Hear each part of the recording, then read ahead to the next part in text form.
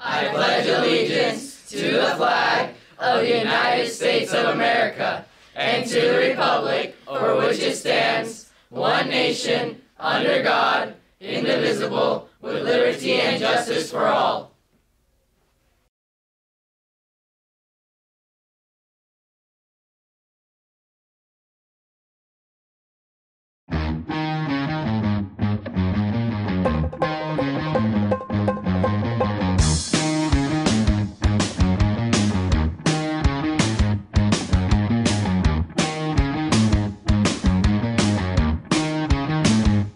Morning, Cougars. Welcome to SCTV News for Monday, March 11th. I'm Angela Massey. And I'm Mitchell Schaefer.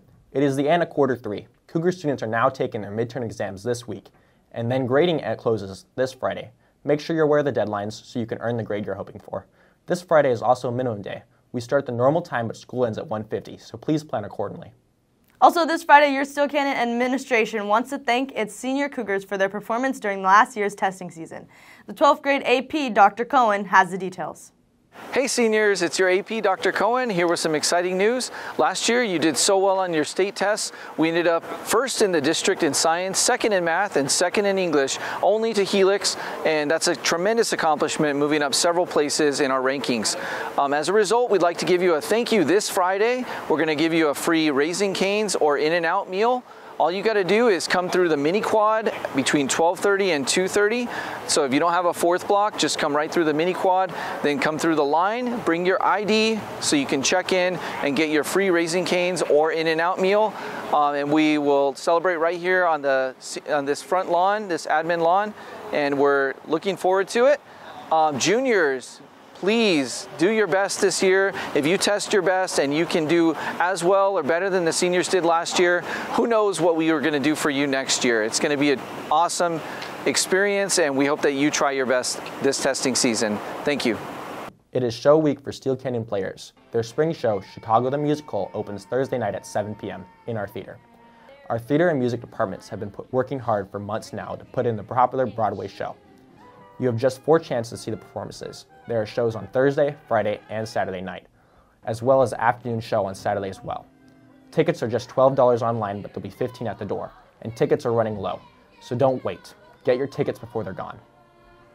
A major project on campus is nearing completion. Steele Canyon faculty staff has been working tirelessly to replace the old and crumbling concrete tables and benches.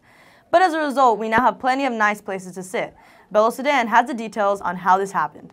Whether you're waiting for your next period, eating your nutrition or lunch, or waiting to get picked up, you've no doubt gone looking for a place to sit. But sometimes, a good place is hard to find amongst the concrete benches, and what's free might not have been in the best state. But not anymore. The, the original benches, the concrete with rebar, have been with the school for over 20 years, and there were certain areas where the rebar was starting to show through, the concrete was breaking away, and especially with the tables, they were connected by a small piece of rebar at the top. And when students sit on them, it was it was wiggling that out, making it really unsafe. And even the school's facility staff have had trouble with the concrete benches.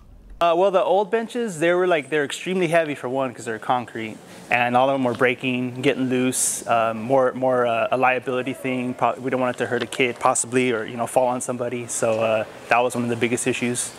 But a change like this isn't cheap. They need to get rid of old benches, then install new ones. And sometimes it might be hard to justify that cost. So I think um, when you look at it as a cost per year, um, the new tables and benches is about $300,000. But if we get another 20 years out of them, then that's um, relatively inexpensive when it comes to like a cost per year. With anything that you build, you know there's going to be regular maintenance on that.